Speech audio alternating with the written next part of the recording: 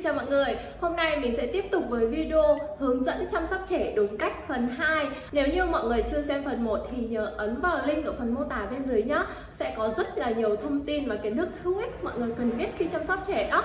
Và bây giờ chúng ta cùng bắt đầu tìm hiểu những kỹ năng hữu ích để chăm sóc trẻ nào. Chúng ta cùng xem video thôi. 8. Kỹ năng hiểu tiếng khóc của con.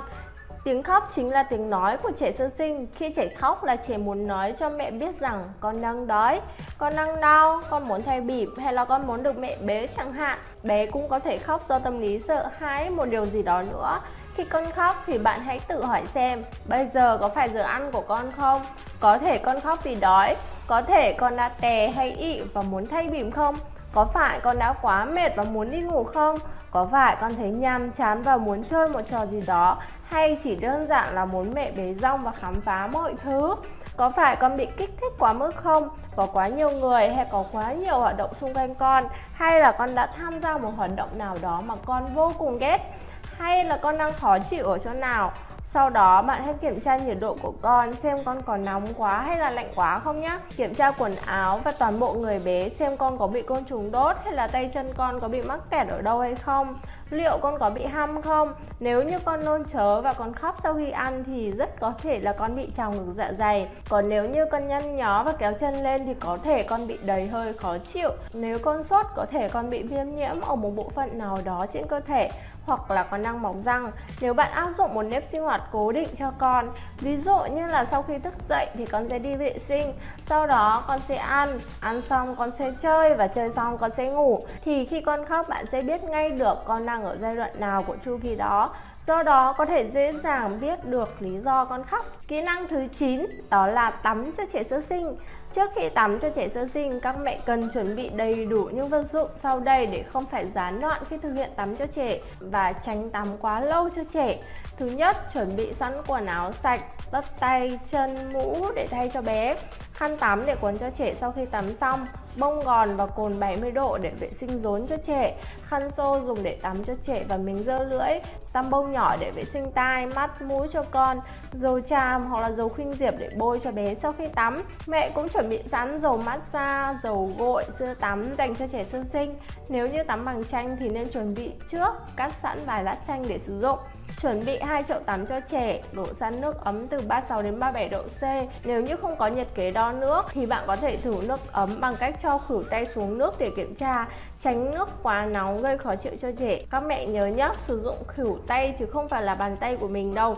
Bàn tay của mình không cảm nhận rõ được nhiệt độ nước phải sử dụng khử tay bởi vì da bé rất nhạy cảm nên là sử dụng bàn tay thì sẽ không thể biết chính xác được nhiệt độ nước, rất dễ dẫn đến con bị nóng quá. Khu vực tắm cho trẻ nên chọn phòng kín, ánh sáng vừa đủ. Nhiệt độ phòng nên duy trì từ 29 đến 30 độ C. Nếu tắm vào mùa đông thì có thể bật đèn sưởi để làm ấm khi tắm. Nếu như không có đèn sưởi thì một mẹo hay là ba mẹ hãy tắm trước để làm ấm phòng rồi mới tắm cho bé nhé.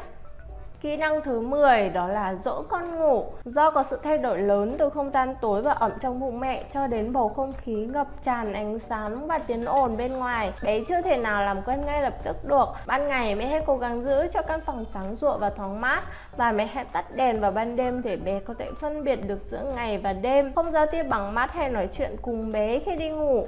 Có như vậy bé sẽ dần đi vào giấc ngủ và có quy củ hơn Tránh hiện tượng con bị lẫn lộn ngày đêm mà người ta thường hay gọi là ngủ ngày cày đêm về việc cho bé ngủ thì bạn luôn chú ý là đặt bé nằm ngửa khi ngủ.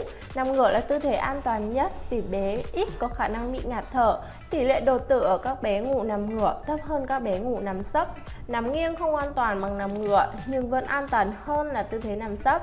Tuy nhiên trong khi bé thức, thỉnh thoảng thì hãy để bé nằm trong tư thế nằm sấp để phát triển khả năng vận động và não bộ của trẻ và để tránh trẻ bị bẹp đầu. Thì thoảng bạn cũng có thể đổi tư thế nằm cho trẻ, xen kẽ nghiêng trái, nghiêng phải, nằm ngửa để tránh bé bị bẹp đầu. Đặc biệt là trong tháng đầu tiên, một số bé có thói quen thường xuyên ngủ nghiêng đầu về một bên, về bên bên trái, bên phải hoặc là nằm ngửa thì đầu dễ bị méo và bẹp phía sau. Mẹ nên tạo nền sinh hoạt cho con và phải chú ý quan sát để nắm bắt được các dấu hiệu buồn ngủ của con. Khi ngủ không nên cho con nằm gối cao để tránh ảnh hưởng đến cuộc sống của bé, không nên cho con nằm võng không nên cho con nằm gối lõm để chống bẹp đầu thường xuyên không nên nói chuyện với con vào ban đêm khi bé chập chờn đi vào giấc ngủ mà nên cố gắng dỗ con ngủ lại. Nếu con ngủ liền mạch cả đêm thì không cần phải đánh thức con dậy để cho con bú. Nên cho con ngủ đủ thời gian cần thiết theo từng độ tuổi của con và đặt một nhánh tỏi dưới gối của con có thể giúp con khỏe mạnh hơn. Nhiệt độ trong phòng phải thích hợp và phải thoáng khí. Trẻ sơ sinh rất hay bị ra mồ hôi, do đó bạn phải thường xuyên kiểm tra và lau mồ hôi cho con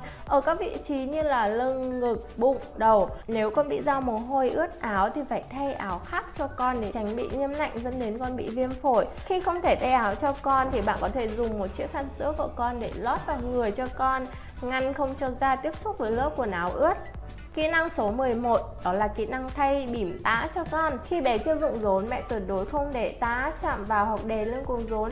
Khi vệ sinh cho bé, mẹ cần lau sạch từ trước ra đến sau, đặc biệt là bé gái để tránh nhiễm khuẩn hoặc vùng kín của bé. Lau khô trước khi đóng tã bỉm mới cho bé. Nếu thấy bé có dấu hiệu bị ham da tế đọ cần tháo bỏ bỉm tã và bôi kem chống hăm cho con. Kỹ năng số 12 Luôn gần gũi bên con Một điều đơn giản nhưng vô cùng quan trọng Để tạo ra sợi dây tình cảm bền chặt ngay từ những năm tháng đầu đời của con Mẹ hãy tăng cường ôm ấp vô về và thực hiện ra kể ra da với bé Tầm nhìn của con lúc này còn rất hạn chế Chỉ khoảng 30cm nên mẹ hãy lại gần, mỉm cười và nói chuyện với bé.